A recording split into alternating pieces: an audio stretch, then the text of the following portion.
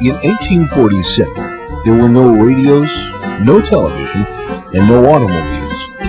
No one had ever heard of airplanes, motion pictures, phonographs, or even light bulbs.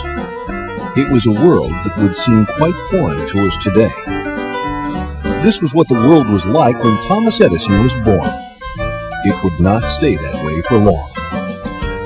In his lifetime, Edison would be granted more than 1,000 patents for his inventions many of which revolutionized the world in which we live.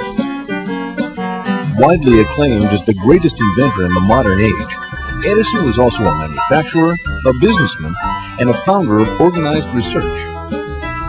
We now present the story of Thomas Edison and his life of invention. He was born Thomas Alva Edison on February 11, 1847, in Milan, Ohio, he was the seventh and last child of Samuel and Nancy Edison.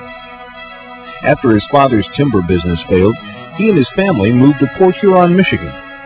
At age seven, Edison caught scarlet fever, which would leave him hard of hearing for the rest of his life. The following year, he entered school for the first time.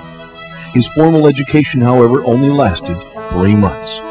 He was unable to adapt himself to the routine of school and decided to quit his mother, a former teacher, began to teach young Edison at home. As early as nine years old, Edison was performing scientific experiments he'd read about in chemistry and physics books. He soon set up his own laboratory in his family's cellar. Needing money for his experiments, Edison found work as a newspaper and candy salesman on the Grand Trunk Railway when he was 12 years old. To save time,